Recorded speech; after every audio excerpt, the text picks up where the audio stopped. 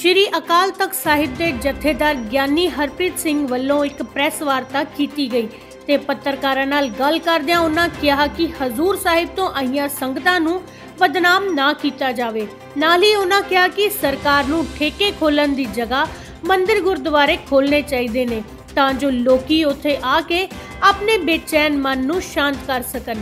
ਤੇ ਜਿਸ ਤਰ੍ਹਾਂ ਸਰਕਾਰ ਨੇ ਠੇਕੇ ਖੋਲੇ ਹਨ ਇਸ ਤਰ੍ਹਾਂ ਘਰੇਲੂ ਲੜਾਈ ਝਗੜੇ ਵੀ ਵੱਧ ਸਕਦੇ ਹਨ।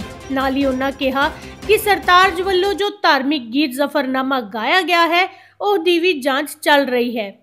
ਸਰਕਾਰ ਨੂੰ ਸਹਿਯੋਗ ਦੇਗਾ ਦੇਖੋ ਜਿਹੜੇ ਪੋਜ਼ਿਟਿਵ ਆਏ ਨੇ ਕੇਸ ਉਹਨਾਂ ਨੂੰ ਸ਼੍ਰੋਮਣੀ ਗੁਰਦੁਆਰਾ ਪ੍ਰਬੰਧਕ ਕਮੇਟੀ ਨੇ ਜਿਵੇਂ ਅੰਮ੍ਰਿਤਸਰ ਸਾਹਿਬ ਦੇ ਵਿੱਚ ਉਹਨਾਂ ਨੂੰ ਜ਼ਰੂਰੀ ਸਮਾਨ ਮੁਹੱਈਆ ਕਰਵਾਇਆ। ਉਵੇਂ ਅਸੀਂ ਸ਼੍ਰੋਮਣੀ ਗੁਰਦੁਆਰਾ ਪ੍ਰਬੰਧਕ ਕਮੇਟੀ ਨੂੰ ਕਹਿ ਰਹੇ ਹਾਂ।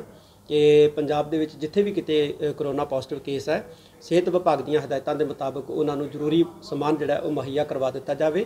ਜਿਵੇਂ ਪੇਸਟਾਂ ਨੇ ਟੁੱਥ ਬ੍ਰਸ਼ ਹੈ ਸਾਬੜਾ ਨੇ ਤੇਲ ਹੈ ਡੱਪ ਮੱਗੇ ਹੈ ਜੋ ਵੀ ਹੈ ਉਹਨਾਂ ਨੂੰ ਉਹ ਮੁਹੱਈਆ ਕਰਵਾ ਦਿੱਤਾ ਜਾਵੇ। ਇਹ ਅਸੀਂ ਸ਼੍ਰੋਮਣੀ ਗੁਰਦੁਆਰਾ ਪ੍ਰਬੰਧਕ ਕਮੇਟੀ ਨੂੰ ਜ਼ਰੂਰ ਕਹਿੰਦੇ ਇੱਕ ਸਨਮਾਨਿਤ ਦਾ ਤੁਸੀਂ ਜਾ ਰਹੇ ਹੋ? ਹਰੇਕ ਨਾਲ ਹੀ ਚਾਹੇ ਜ਼ੂਰ ਸਾਹਿਬ ਤੋਂ ਹੈ ਚਾਹੇ ਸਾਡੀ ਲੇਬਰ ਤੋਂ ਹੈ ਜਿਹੜਾ ਵੀ ਪੋਜ਼ਿਟਿਵ ਆਇਆ ਉਹਦੇ ਨਾਲ ਵਤੀਰਾ ਜਿਹੜਾ ਸਨਮਾਨਜਨਕ ਹੋਣਾ ਚਾਹੀਦਾ ਜੀ। ਗੁਰਪ੍ਰੀਤ ਸਿੰਘ ਦੀ ਰਿਪੋਰਟ ਲਾਈਵ ਅੰਮ੍ਰਿਤਸਰ